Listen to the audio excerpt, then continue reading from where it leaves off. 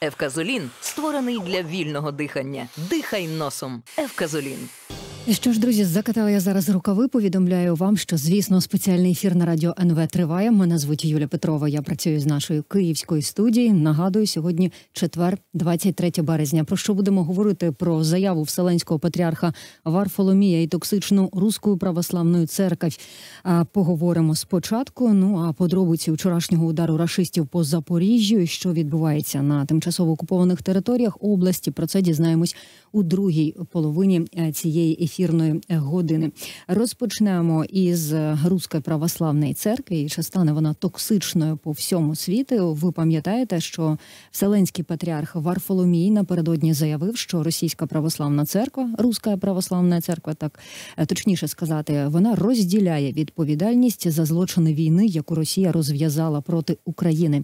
Ці слова прозвучали на конференції у литовському парламенті у Вільнюсі. Передає Reuters. Патріарх пояснив, що російська влада використовує церкву як інструмент для досягнення своїх стратегічних цілей. Ось пряма мова Варфоломія. Церква і державне керівництво Росії співпрацювали у злочині агресії і розділяють відповідальність за злочини, що викликали в результаті, які е, такі як шокуюче викрадення українських е, дітей. Також е, Варфоломій зазначив, що наш межрелігійний діалог повинен зосередитися на способах протистояти і нейтралізувати здатність керівництва московського патріархату, чинити розкол у церкві і теологічно легітимізувати злочинну поведінку. Кінець цитати зараз на цю тему поговоримо. Я чекаю, коли на прямий зв'язок зі студією вийде релігія знавиця Ірина Богачевська. Пані Ірино, якщо чуєте мене, озвіться, будь ласка, добрий день, слава Україні.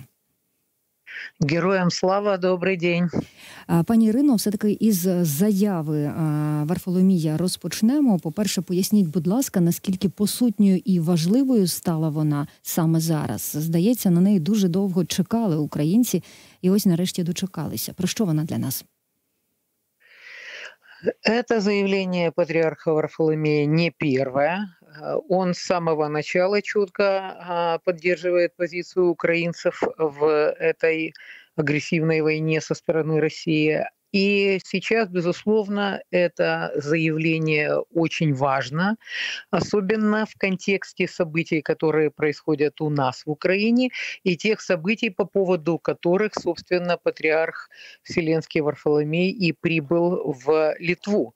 А, я хочу сказать, что он прибыл по поводу того, что к нему обратились пять священников Виленско-Литовской епархии Русской Православной Церкви, которые были лишены сана, за то, что они отказались поддерживать свою церковь, которая тоже есть филиалом русской православной церкви, но в Литве по поводу войны в Украине, которые сказали, что мы не можем поминать патриарха Кирилла. Ну, то есть практически дел, сделали то, что сделали очень многие священники УПЦ МП у нас, которые перешли в ПЦУ и которые, так сказать, э, четко поддерживают проукраинскую позицию.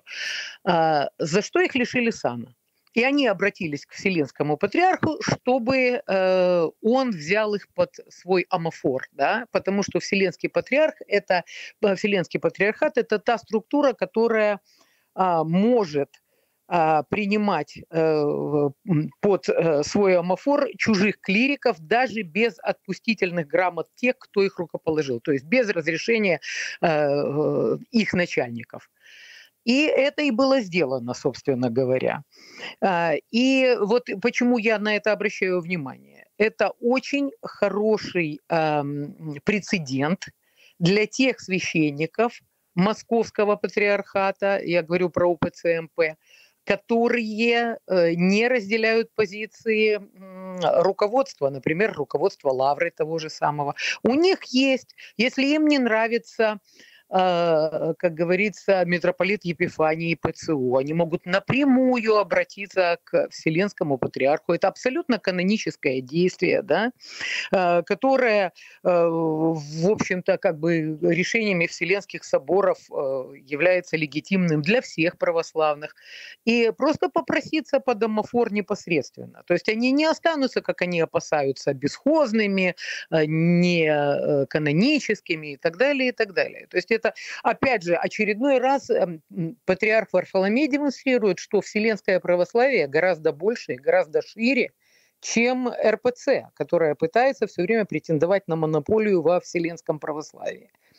А, собственно говоря, именно этих действий патріарх Вселенський допустить, конечно, не може.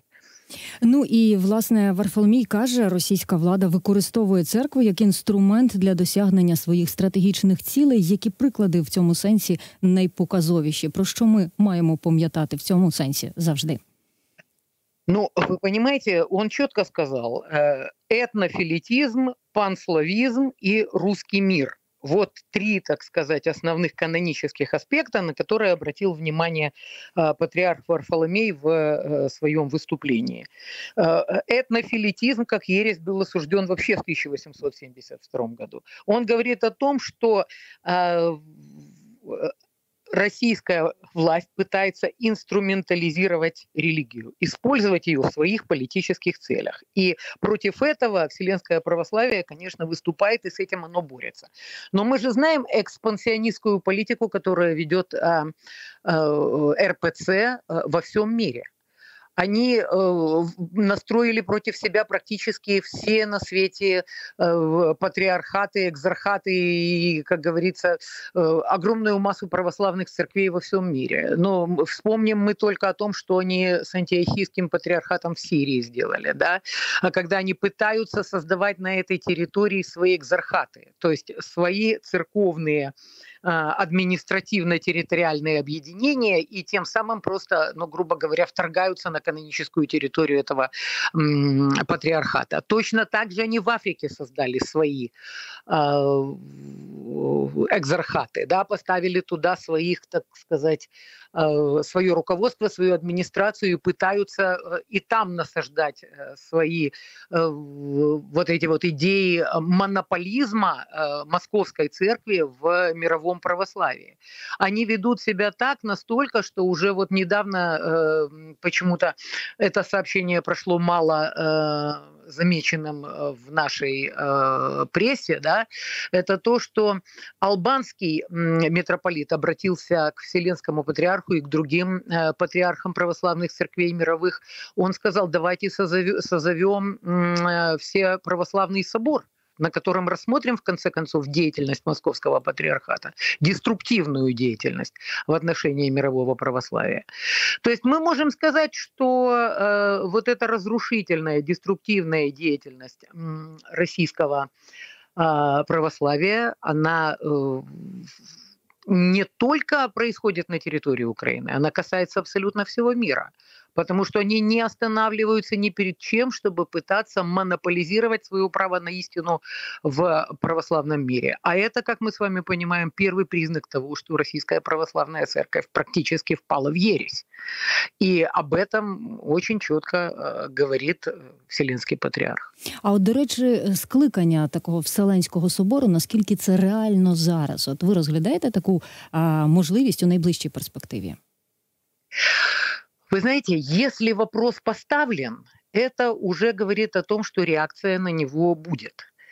А, и э, если уже это зерно как бы заронено в православный мир, оно прорастет. А как быстро оно прорастет? Вы знаете, сейчас мы живем в такую эпоху, когда э, те процессы, которые нам казались невозможными, они просто происходят на наших глазах. Поэтому а, тут еще какой фактор мы должны учитывать? Мы должны учитывать тот фактор, что российская православная церковь, она же не остановится в своих действиях. Понимаете, мы видим, что агрессивные действия нарастают вот эти захватнические, прозелитические действия, они э, э, с каждым месяцем усиливаются.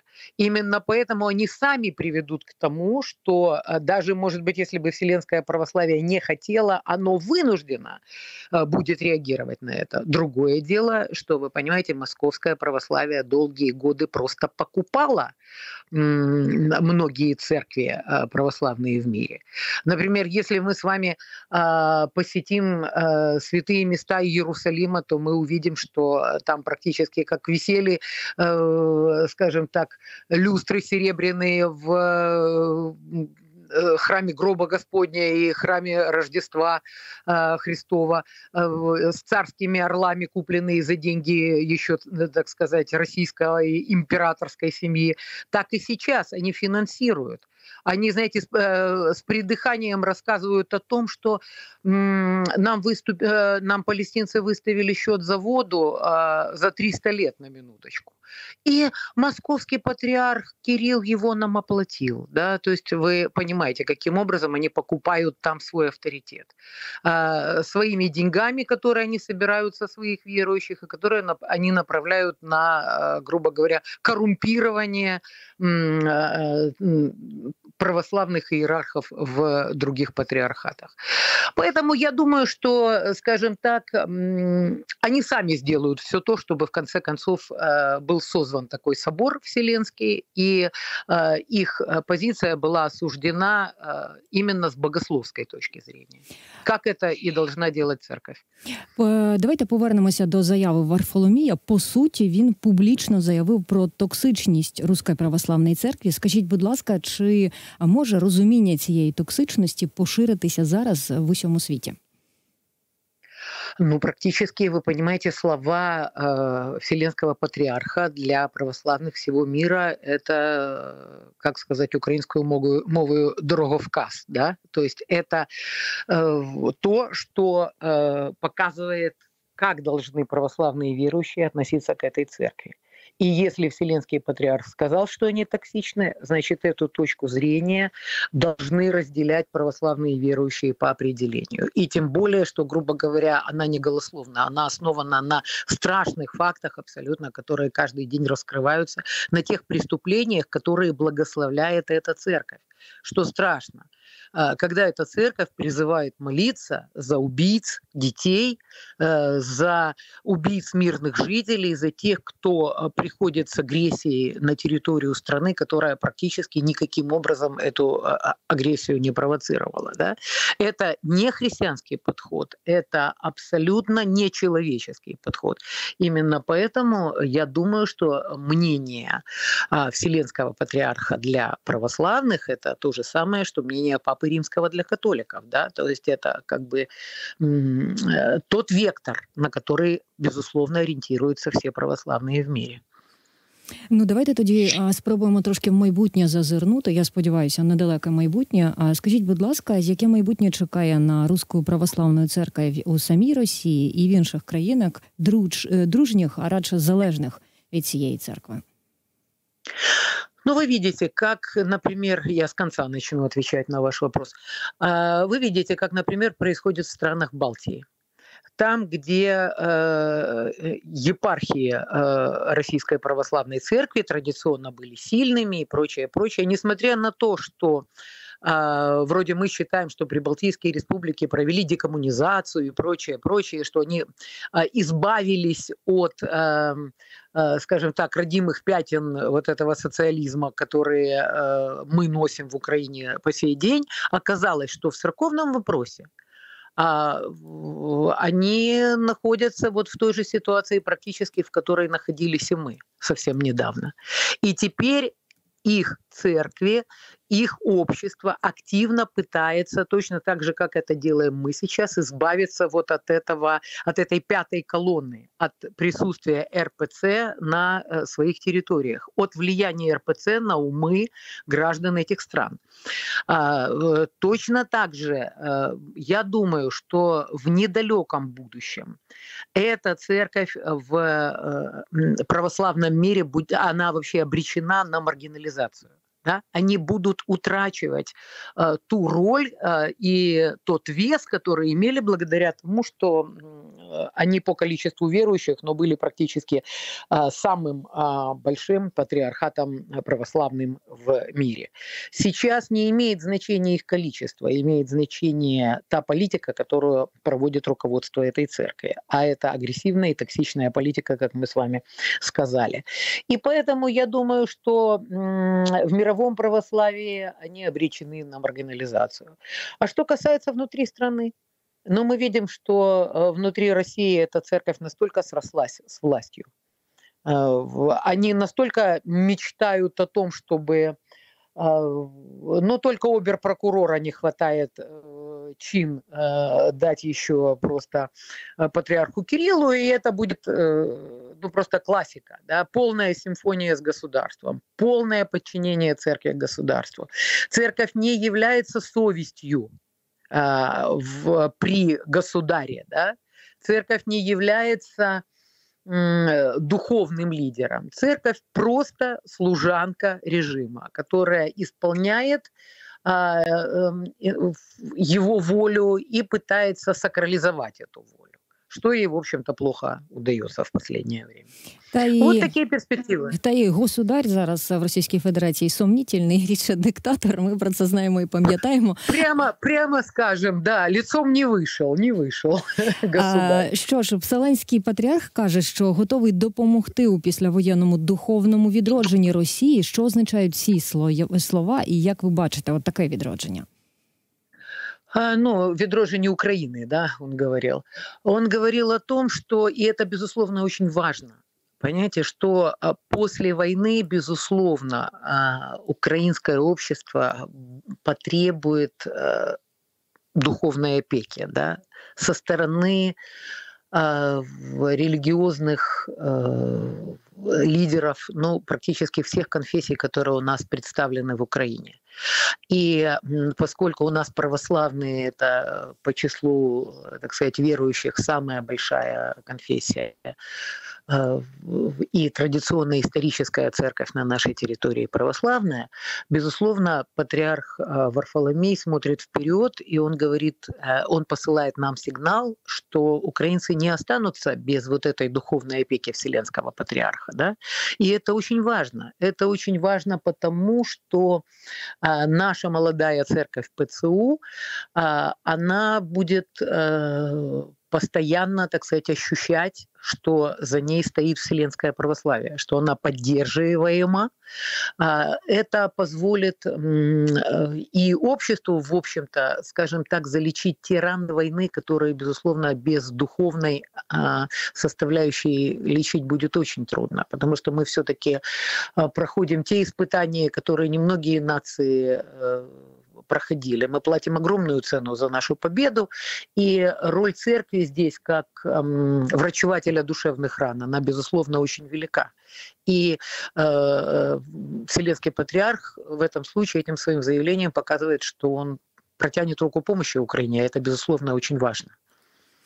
І тут ще один дуже важливий момент. Скажіть, будь ласка, як заява Варфоломія може вплинути на ситуацію із Українською православною церквою, так званого московського патріархата в нас в Україні, а і цілком зрозумілим нині бажанням припинити її діяльність на території нашої держави? Ну, вот вы видите, э, патриарх Варфоломей показывает. Он показывает вывод, выход, э, выход прежде всего рядовым священникам, которые не согласны с э, политикой этой церкви. Они могут обратиться вплоть до того, что напрямую к Вселенскому патриарху, да, и выйти из своей церкви. Причем минуя, как я уже говорила в начале, всяческие разрешения тех священнослужителей, которых рукоположили в священники, да. И, и это не будет нарушение никаких канонов церкви. Э, это показывает то, что, э, опять же, э, украинская ситуация находится под пристальным вниманием Вселенского Патриарха, и выход всегда есть. Это опять же показывает то, что лукавят наши лидеры УПЦ МП во главе с э, митрополитом Ануфрием, а, э, которые показывают, что вот они гонимы, у них нет никакого выхода и так далее, и так далее. Выход всегда есть.